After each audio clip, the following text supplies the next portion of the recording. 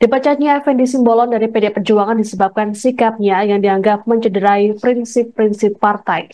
Juru bicara DPP PDP Aryo Sinobagaskoro mengatakan Effendi didepak dari partai karena kong kali kong dengan Presiden ke-7 RI Joko Widodo saat Pilkada 2024.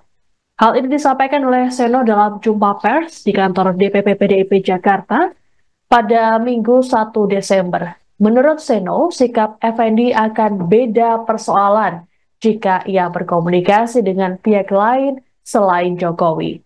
Seno berujar sosok Jokowi dianggap jadi pemicu berbagai persoalan politik yang terjadi beberapa waktu belakangan.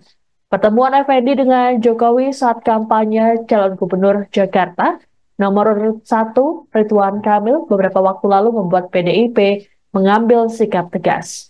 Adapun PDIP sendiri telah mengusung Pramono Anung Rano Karno dalam Pilkada Jakarta. Pemecatan terhadap Effendi sebelumnya telah dikonfirmasi oleh Ketua DPP PDIP, Jarod Saiful Hidayat pada Sabtu 30 November. Jarod berujar Effendi terbukti melanggar etik karena mendukung RK Suswono. Surat pemecatan terhadap Effendi ditetapkan PDIP pada Kamis 28 November lalu. Surat ini ditandatangani oleh Ketua Umum PDIP Megawati Soekarno Putri dan Sekjen PDIP Hasto Kristianto.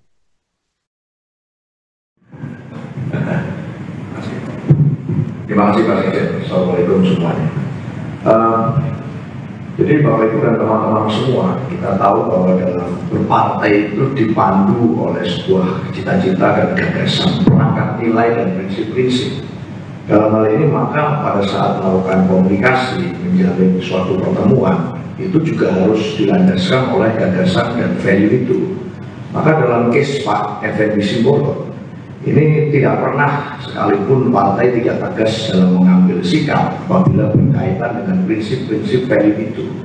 Nah, Pak Effendi Simbolon ini bertemu dan berkomunikasi dengan Pak Jokowi ini beda persoalan kalau dengan yang lain-lain, tokoh politik yang lain. Tapi ini bertemu dengan Pak Jokowi sebelum kemudian mengambil suatu langkah politik yang berbeda dengan rekomendasi partai. Jadi kalau bicara tentang Pak Jokowi, maka berbagai persoalan dan dosa-dosa politik yang terjadi selama setidaknya beberapa waktu terakhir ini itu yang mendapatkan berbagai macam kecaman kritik dan berbagai perbincangan yang begitu luas di antara anak-anak muda tentang masa depan politik kita, peradaban politik kita yang diganggu sendi-sendinya oleh Pak Jokowi.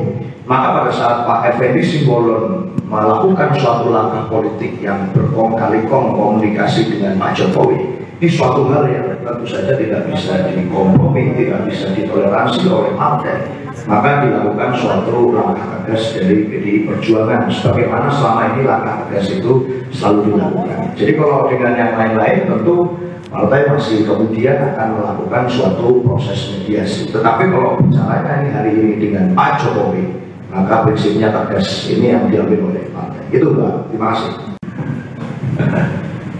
Download Tribun X sekarang menghadirkan lokal menjadi Indonesia.